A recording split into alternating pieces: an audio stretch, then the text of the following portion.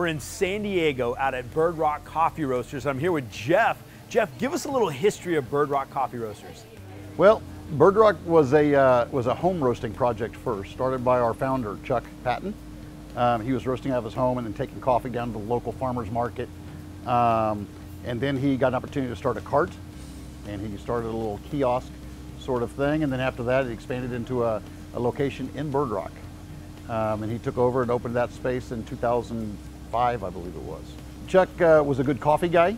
He loved buying coffee and still does. He's actually still our coffee buyer. Yeah. Um, I bought the business from Chuck actually last January. Okay. Um, Chuck and I have been friends for about 10 years. And about eight years ago, I said to Chuck in passing, dude, if you ever want to sell your business, I'd love to live in San Diego. And I totally said that tongue in cheek. Yeah. I mean, you don't just offer to buy somebody's business. I had, I just threw it out there and then we both went on with our days. Eight years later, he called me Wow. and said, I didn't forget. My wife and I are actually, we, we're ready now. and And I was like, wow, and the timing couldn't have been better because my wife and I, Maritza right back here actually, my wife and I had just had a son. Um, and so it allows me to stay here and kind of do the dirty work. I get to do the office, office work and the business growth and development part.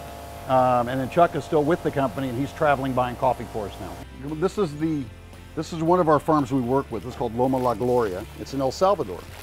Oh Um, and this is a, a, uh, honey processed coffee. You can see by the discoloration in the beans. Mm-hmm. Um, honey processed, which means it's dried in the sun. so once you have it here, is it going? Does it all go through the same roasting process, or is it different? Well, the, each coffee will have a different roasting curve. Okay. Think of it in terms of uh, cooking.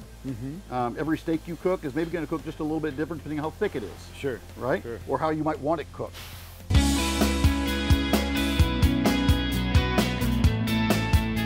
How long will it take for it to be done?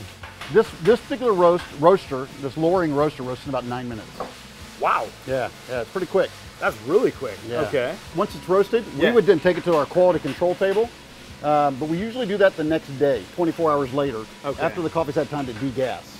Gotcha. And then we'd go to the quality control table where my wife and I would um, cup coffees is this a daily process? daily, every day. Already, I smell the aroma going on here. So what are we gonna do here? Well, this is the great part. So it's very important you always have more than one cup. Why is that? This is called quality control. So you're checking for mistakes. If you only have one cup, you have nothing to compare it to. Uh, in the middle of the table right here, what, what are these? So this is coffee at different stages. Coffee starts as the fruit on a tree, a cherry. Yeah. You pick a cherry when it's ripe. A ripe burgundy red is what we go for. Then as it dries, if you, there, these are different processing methods. Wow. Okay. Okay, so we would take the cherry, and you have to imagine this cherry is bright red. This one's actually dried, and so it's an overripe. Think of a dried prune, Yeah. right? That'd give you a sim- similar visual. This one would be called natural. Okay. If you take the fruit off the tree and you dry it just like this, you'd have a naturally processed coffee. Okay. If you take the fruit off the tree, and now I'm going to ask you to think in terms of a peach. Okay, Mm-hmm. take the fruit off the tree and you remove the skin and most of the fruit pulp, yeah. and then you let it dry.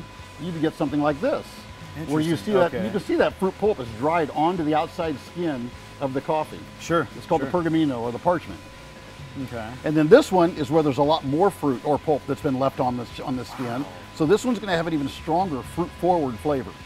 Okay. Fascinating. And then this one, a washed coffee. And a washed coffee is you take the fruit fruit off the tree. Yeah. And you would literally peel off the fruit, you peel off the pulp, you would put it in a fermentation tank, and slowly but surely all that fruit would break down and then you would wash it away. And you'd be left with a clean coffee tasting like this one. And so each of these different processing methods produce different flavor notes.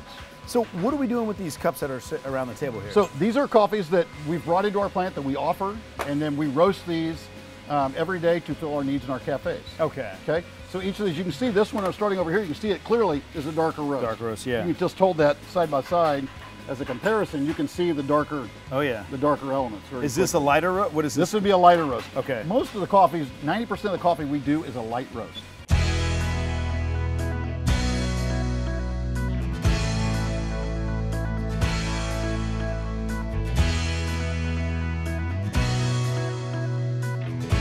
So this is this part. What we're going to do first is we take the coffee that you just saw coming out of the roaster. For example, normally it'd be 24 hours.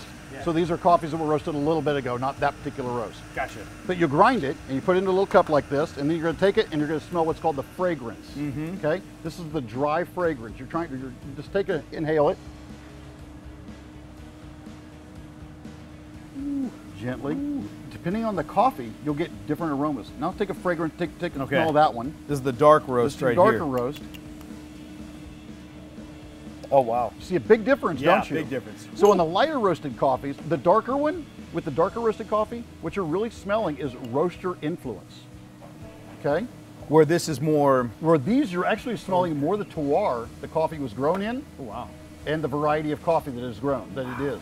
This is called fragrance. You would go down this in order and you go by each coffee and you would make notes on a sheet about the fragrance of the coffee. It'll change every few minutes. The flavor will change, the aroma will change. Um, it's like a constant process as the coffee changes. When we taste, when we cup, this is called cupping. When we cup coffees, Yeah. we cup them from four minutes in until they're room temperature because the flavor changes through that whole process. So in 20 seconds, we're gonna break the crust, Uh-huh. but you don't wanna stand up here and then break it because Yeah. as soon as you break, that's releasing the aromas. If your nose is up here, you're gonna miss it. Gotcha. So you really, it is important you get right down here to it. There you go, rinse your spoon off. Oh gosh. Always rinse your spoon, it's really important. Break the next one. It's called, this is called the break. Get your nose right down there.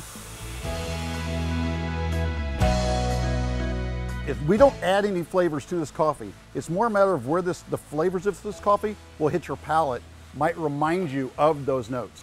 So then take a little spoonful, step back from the cup just a little bit, mm-hmm. and then See, my mom told me not to do that, but she's not here. cupping is prized. That's a good thing. Oh, you're pretty good at that. Wow. Isn't that amazing? Now, why Oh would you want to add cream to that coffee? Never. Don't expect the same thing. Expect something different, and I bet we get it.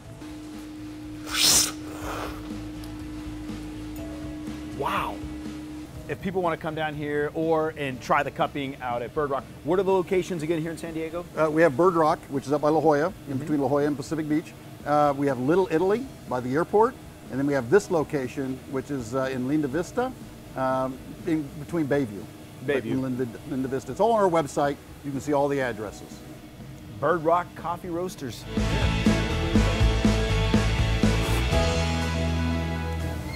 All right, we're out.